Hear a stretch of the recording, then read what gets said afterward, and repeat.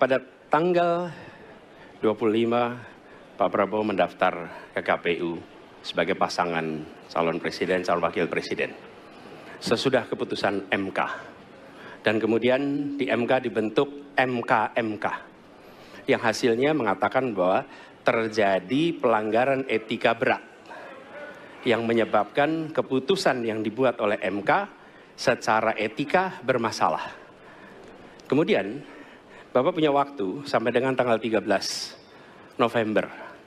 Karena di situ adalah waktu terakhir untuk mengambil keputusan bila ada perubahan.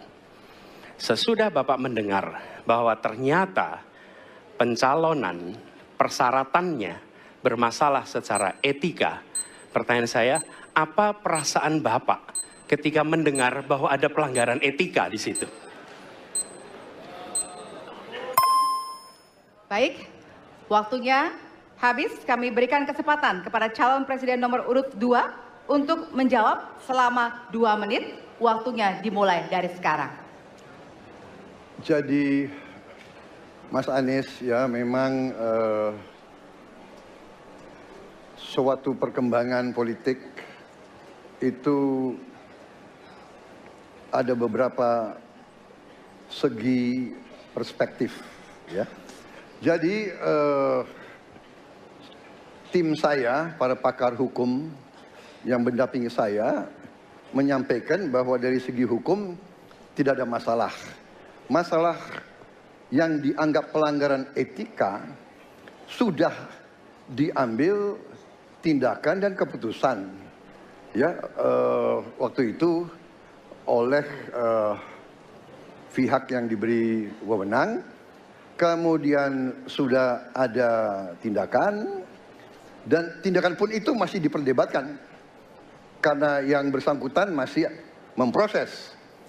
Tetapi intinya adalah bahwa keputusan itu final dan tidak dapat dirubah. Ya, saya laksanakan ya.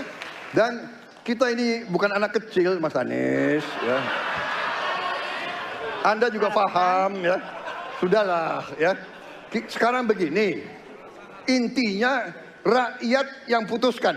Rakyat yang menilai. Kalau rakyat tidak suka Prabowo dan Gibran, nggak usah pilih kami, saudara-saudara sekalian.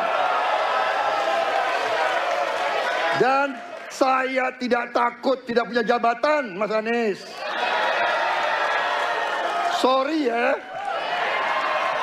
Sorry ya. Para penang, Mas Anies, Mas Anies, saya tidak punya apa-apa. Saya sudah siap mati untuk negara ini. Baik. Waktu Anda habis, Bapak, dan selanjutnya kami persilakan kepada calon presiden nomor urut satu untuk menanggapi jawaban dari calon presiden nomor urut dua. Waktu Bapak satu menit. Dimulai dari sekarang. Fenomena ordal ini menyebalkan.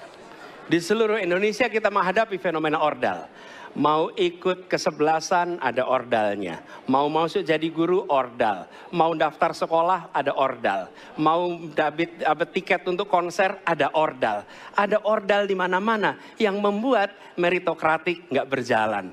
Yang membuat etika luntur. Dan ketika ketika fenomena ordal itu bukan hanya di masyarakat, tapi di proses yang paling puncak terjadi ordal, maka rakyat kebanyakan dan ini saya rasakan beberapa waktu yang lalu beberapa orang guru berjumpa dengan saya dan mereka mengatakan Pak, di tempat kami pengangkatan guru-guru itu mendasarkan ordal. Kalau tidak ada ordal, nggak bisa jadi guru, nggak bisa diangkat.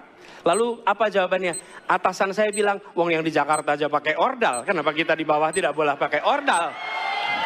Negeri ini rusak apabila tatanan Waktunya itu hilang. habis. Ya. Sekarang kami berikan kesempatan kepada calon presiden nomor urut 2 untuk menanggapi tanggapan dari calon presiden nomor urut 1. Waktunya satu menit dari sekarang. Mas Anies. Dalam demokrasi, kekuasaan tertinggi ada di rakyat. Hakim yang tertinggi adalah rakyat. Tanggal 14 Februari, rakyat yang akan mengambil keputusan. Kalau kami tidak benar, salah, berkhianat, rakyat yang akan menghukum kami. Waktu masih ada, Bapak? Sudah cukup? Baik, terima kasih. Mas Anies, saya tidak punya apa-apa. Saya sudah siap mati untuk negara ini.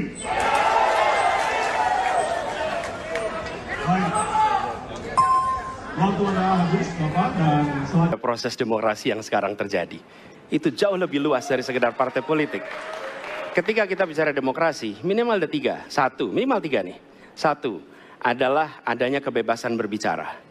Yang kedua, adanya oposisi yang bebas untuk mengkritik pemerintah dan menjadi penyeimbang pemerintah. Yang ketiga, adanya proses pemilu, proses pilpres yang netral, yang transparan, jujur, adil. Tiga. Dan kalau kita saksikan akhir ini, dua ini mengalami problem. Kita menyaksikan bagaimana kebebasan berbicara menurun, termasuk mengkritik partai politik. Dan angka demokrasi kita menurun, indeks demokrasi kita. Bahkan pasal-pasal yang memberikan kewenangan untuk digunakan secara karet kepada pengkritik, misalnya Undang-Undang ITE atau pasal 14, 15 Undang-Undang Nomor 1 tahun 1946. Itu semua membuat kebebasan berbicara menjadi terganggu. Yang kedua, oposisi. Kita saksikan minim sekali adanya oposisi selama ini. Dan sekarang ujiannya adalah besok. Bisakah pemilu diselenggarakan dengan netralitas, dengan adil, dengan jujur? Ini ujian ketiga. Jadi, persoalan demokrasi kita lebih luas dari segala persoalan kepada partai politik. Nah, bagaimana untuk partai politik sendiri? Partai politik perlu mengembalikan kepercayaan. Tapi di sini ada peran negara. Menurut saya salah satu masalah yang mendasar partai politik ini memerlukan biaya. Dan biaya politik selama ini tidak pernah diperhatikan di dalam proses politik. Untuk kampanye, untuk operasional partai, semua ada biayanya. Sudah saatnya pembiayaan politik itu dihitung dengan benar. Ada transparansi, sehingga rakyat pun melihat ini institusi yang bisa dipertanggungjawabkan. Jadi salah satu reformnya adalah reform pembiayaan politik oleh partai.